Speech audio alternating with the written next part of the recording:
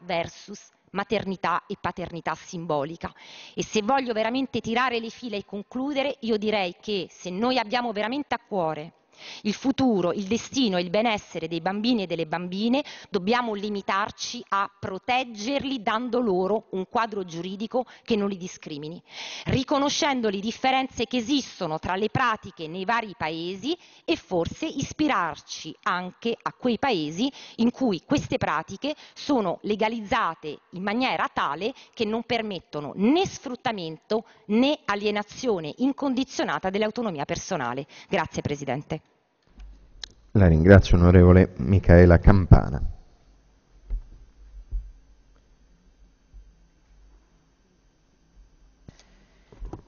Grazie Presidente, colleghi. Ho ascoltato con attenzione il dibattito che ha preceduto il mio intervento e il tema in oggetto è sicuramente un tema che divide, che è acceso in passato e accende anche le varie sensibilità in campo. Tuttavia la discussione è stata sviscerata profondamente solo poche settimane fa al Senato, mentre i colleghi senatori erano impegnati nell'esame del disegno di legge sulle unioni civili. Molto accesa è stata anche la discussione nel dibattito pubblico e sui media, in cui peraltro il tema che oggi discutiamo è stato confuso con l'essenza stessa della legge sulle unioni civili.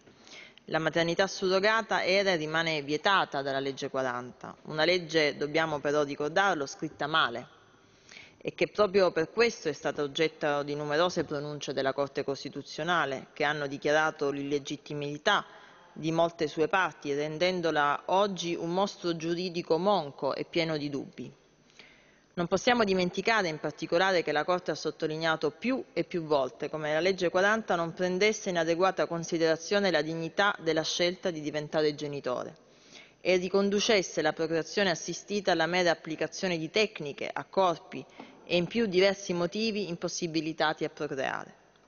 L'Italia ha scelto legittimamente di vietare la pratica della gestazione per altri, nel nostro Paese attraverso un dibattito parlamentare serrato, anche allora ha mostrato distanze e visioni contrapposte, spesso dettate dall'ideologia.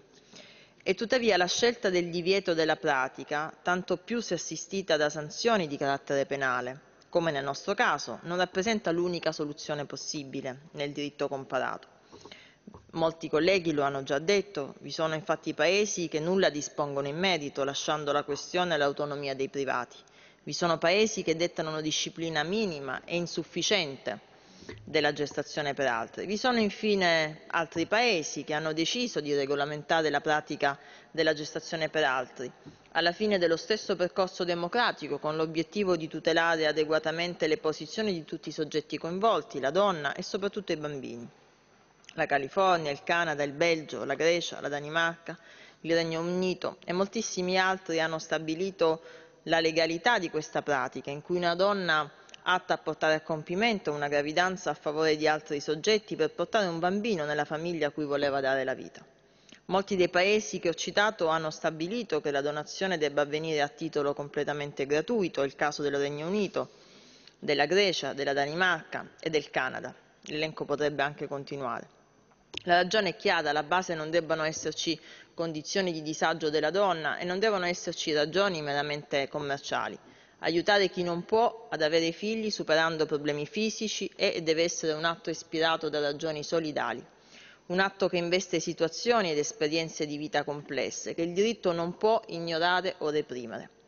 Siamo sicuri che gli Stati che hanno regolato la materia legalizzando queste pratiche hanno affrontato probabilmente gli stessi interrogativi e questioni che le mozioni in discussione sollevano, facendosene carico e risolvendoli in un senso, Penso in modo particolare a quegli ordinamenti che prevedono un coinvolgimento forte del giudice, per esempio, nell'autorizzazione del ricorso alla pratica e nell'attribuzione dello status di genitori della coppia, è il caso della Grecia, ma segnali in questo senso provengono anche dal Regno Unito e dalla California, ad esempio. Discorso certamente diverso vale per i contesti in cui ci sono chiare pratiche di sfruttamento. Ad oggi l'accesso alla maternità surrogata a titolo commerciale resta possibile per gli italiani solo in Georgia, in Russia, in Ucraina, Uganda, dove è vietata la coppia dello stesso sesso. Lascio da parte il caso della California, che pure viene ricompensata per il servizio solidale che presta alla coppia intenzionale. Questo non avviene negli altri paesi, in quei contesti per alcune sfumature le donne coinvolte non vengono informate adeguatamente, ricevono un'assistenza medica del tutto insufficiente, affrontano talvolta un violento stigma socioculturale subiscono pressioni e ricatti di vario genere dettati dal disagio economico e da una legislazione punitiva, dalla volontà del marito o dei genitori. Simili situazioni di sfruttamento si configurano come una riproverbole eh, violazione dei diritti umani e del principio universale di rispetto della dignità umana.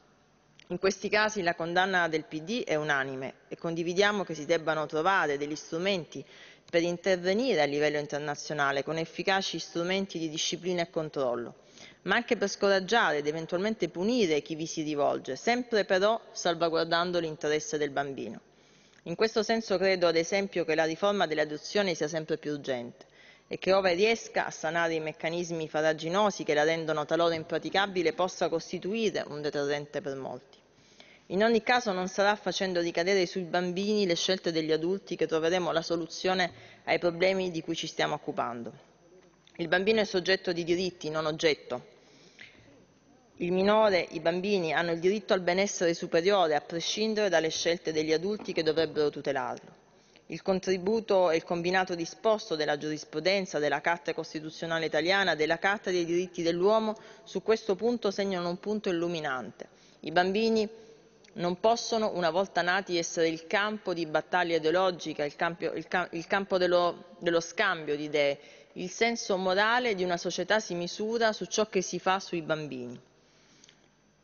Anche la giurisprudenza internazionale ci viene in aiuto. Nel 2014 la Corte europea dei diritti umani, nei due casi contro la Francia intervenuta sulla questione dei figli nati da gestazione per altri. Alle due coppie genitoriali, entrambe eterosessuali, la Francia aveva negato in un caso la trascrizione del certificato di nascita dei figli e nell'altro la trascrizione di un provvedimento del giudice francese che riconosceva l'esistenza di una relazione di fatto tra genitore e figlio. La Corte, pur riconoscendo il rifiuto di trascrivere l'atto di nascita, costituisce una misura legittima da parte dello Stato che nell'esercizio della sua discrezionalità punisce penalmente il ricorso alla maternità per altri, ha tuttavia concluso affermando che quando sono in gioco l'interesse dei minori, il margine di discrezionalità dello Stato si riduce e una previsione pur legittima non può essere bilanciata con l'incertezza giuridica in cui i figli vengono a trovarsi. Tali conclusioni sono state confermate dalla Corte Edu della sentenza Paradiso e Campanelli contro l'Italia del 27 gennaio del 2015, nella quale la Corte ha condannato l'Italia per aver sottratto e poi dato in adozione il figlio di nove mesi di una coppia eterosessuali che aveva fatto ricorso in Russia alla fecondazione eterologa e alla maternità per altri. Le indicazioni che provengono dal quadro che ho descritto fin qui sono molto chiare. Il tema della gestazione per altri deve essere affrontato tenendo in mente la grande diversità di modelli di disciplina che ci sono negli altri paesi e non può essere ridotto alle semplificazioni che troppo spesso abbiamo ascoltato.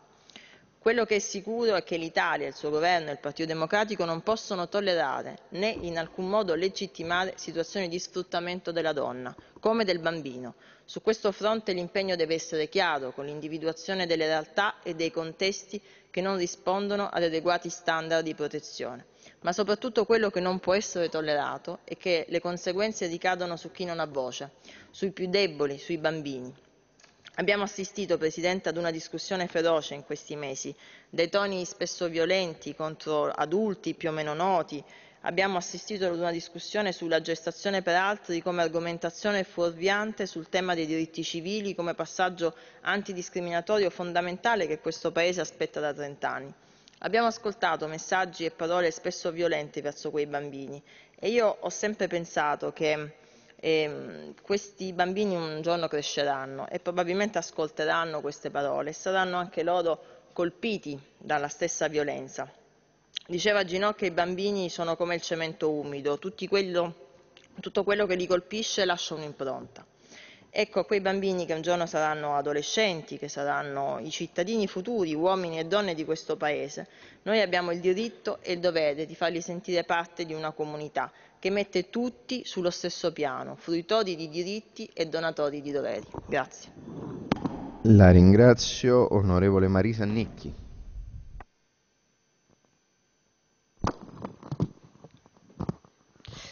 Grazie Presidente. La gestazione per altri, maternità surrogata, è una pratica sociale antica quanto il mondo patriarcale.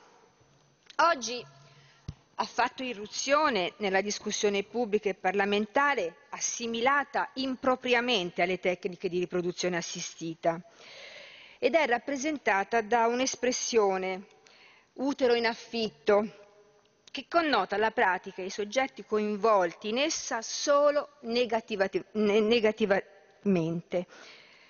Come si sa, il linguaggio non è neutrale